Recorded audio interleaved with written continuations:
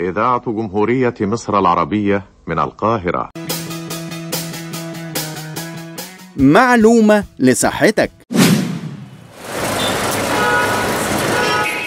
صباح الخير يا أستاذ ثروت صباح الخير يا مدام هالة. قول لي عملت تحليل فيتامين د اللي الدكتور طلبه منك ولا لسه؟ عملته وطلع ناقص قوي عندي. والدكتور قال لي نقص فيتامين د ده هو السبب في كل المشاكل اللي بتجيلي دي. معقول؟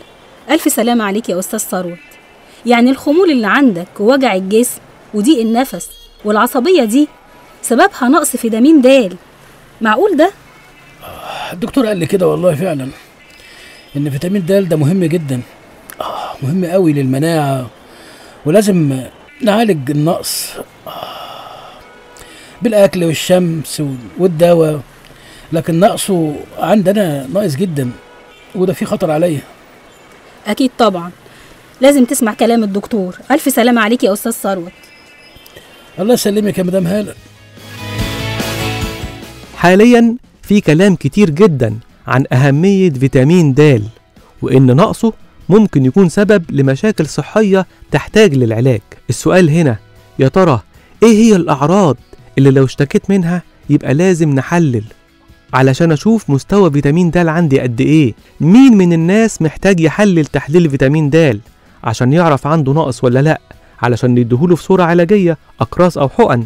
الإجابة أولا كبار السن. علشان الجلد عندهم قدرته على تصنيع فيتامين د بتقل وكمان عشان ممكن يكونوا ما بيتعرضوش للشمس كتير. تاني فئة الأطفال الصغيرين. علشان احتياجهم لفيتامين د بيكون عالي واحتياجهم للكالسيوم بيكون أزود من الطبيعي. علشان نمو العظام ونمو الأسنان عندهم. وفي بعض الحالات المرضية ممكن يكون عندهم فيتامين د ناقص بسبب هذه المشكلة المرضية اللي عندهم زي الناس اللي عندهم أمراض سوء الامتصاص وزي الناس اللي عندهم التهاب القولون التقرحي المناعي المزمن أو مرض كرونز والناس اللي وزنهم زيادة وعندهم طبقات دهون كتيرة تحت الجلد بتمنع فيتامين د من الامتصاص الجيد. الناس دول بيحتاجوا فيتامين د أكتر من غيرهم.